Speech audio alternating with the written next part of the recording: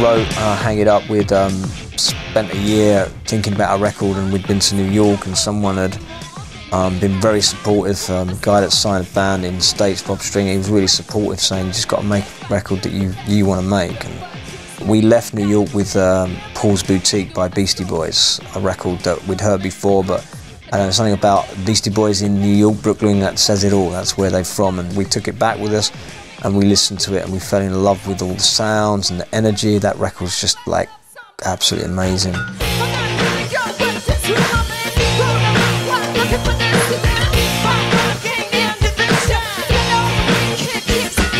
We're gonna play at least six, seven new songs. We're gonna play six, seven old songs.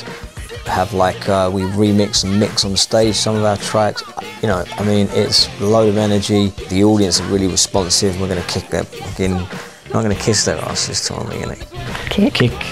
French ass. I get really nervous, like every show I get nervous, so it was trying to find a bit of quiet time on our own, talk through what we fucked up the night before.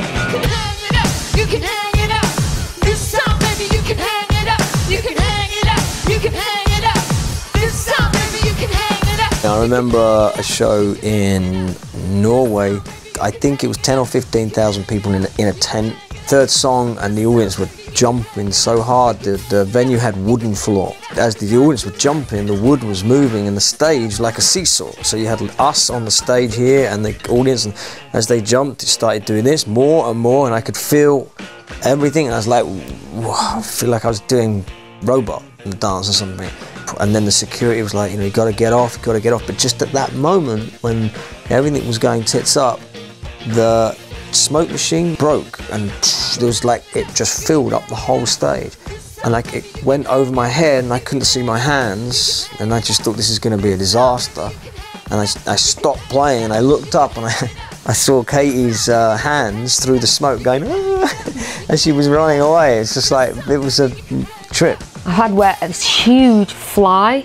It was in Japan, and I don't know what insects they have there, but it was the size of like a flying dog, and it flew at my head because It was this big. It wasn't. It was. It was huge, and um, I don't like bugs anyway, and so the stage lights were attracting these like prehistoric insects, and um, so I'd be like running around the stage trying to escape. Then I'd fall over. Then I'd slip on my water, and I'm just glad it was in Japan because um, the Japanese audience are very kind and they don't laugh at you when you fall over being chased by a flying Alsatian.